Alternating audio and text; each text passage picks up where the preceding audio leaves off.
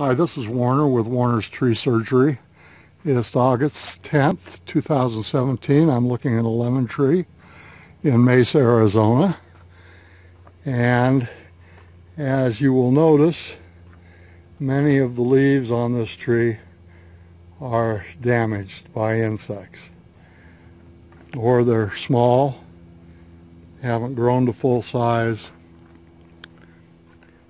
uh, misshapen, discolored. And the main reason for all of this damage started with the advent of an insect that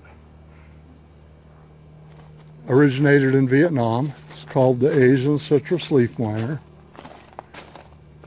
Its significance is, is that it has no natural predator and it breeds up to 14 times a year. And these leaves on this lemon tree, uh, most of them, the one I'm showing you now, uh, were damaged by the leaf miner a while ago. Not all of them. There's three or four other insects that are in this tree. But usually the trees can deal with the other insects because as soon as the tree becomes completely infected, some other insect will move in and, and eat the insect that's damaging the leaves. And so before the five years that it takes to run down the reserves occurs, the problem will resolve itself, or at least that used to be the case. Now, however, because the reserves are already depleted, because the leaf miner has been in here for so long, uh, that doesn't work anymore. Uh, all the other insects are also epidemic. So to take care of your citrus, you have to take care of the bugs. What we do is we come out and we educate the people on how to do that. We get them started on a program of spraying correct water, correct fertilization, um, correct trimming, and then we put a couple of substances directly into the tree that kickstarts the reserves building back up, kickstarts the energy production, and also helps to protect the tree against fungus, which is the next thing that happens uh,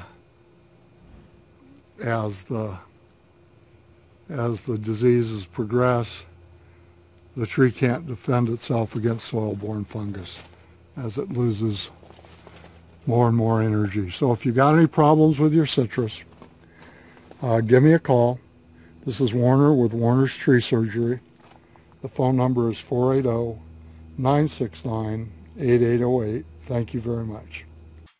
Hi, this is Warner, and I need to interrupt this video to bring you news about a new threat to your trees. The ash whitefly has been in Maricopa County for at least three years. This tiny insect has the ability to completely defoliate at least 40 species of trees. The list includes the ash tree, citrus trees, jacarandas, tipus, orchid trees, the flowering pear, and many more. The adult ash fly appears much like a typical whitefly, with a light dusting of white wax. Depending on the temperature, the females live from 30 to 60 days, while the males live an average of 9 days. This rapid development time, coupled with the absence of the predator wasp, produces numerous generations per year in Arizona, plus the ability of all of the life stages to overwinter on trees like pines, citrus, oaks, and others allows a rapid buildup in population at the start of the season. Winged females lay eggs on the underside of the leaves, and when the nymphs emerge, they rarely move far. They feed on the plant sap until they're mature. To learn more, go to my website. The Universal Resource link should be on the screen now. Please watch the video and read the information on that page. We are now returning you to the video you were watching.